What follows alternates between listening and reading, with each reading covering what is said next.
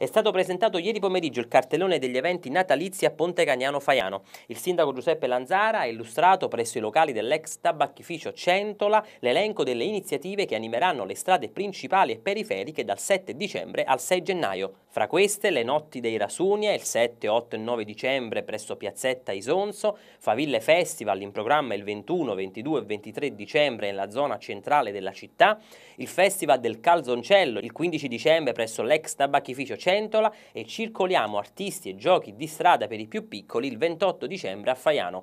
A chiudere il cerchio l'evento organizzato dal centro commerciale naturale denominato Befana in volo che si terrà il 5 6 gennaio nelle piazze Sabato e Risorgimento.